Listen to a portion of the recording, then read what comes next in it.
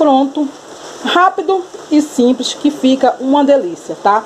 Meu almoço aí de sexta-feira que eu quis trazer para vocês, que é uma maravilha. Fiz um macarrão com um molho que eu faço sempre com ketchup, tá aqui meu macarrãozinho, tá?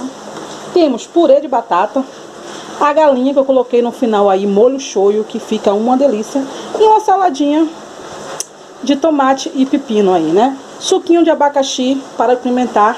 E esse aqui é o nosso almoço diário. Nosso almoço de casa, quase todo dia tem esta misturinha aqui que é uma delícia. Então, se vocês gostaram do vídeo, compartilhe, dê like aí, ative o sininho e até o próximo Cozinhando com a Lili. Beijo, beijo, meus amores.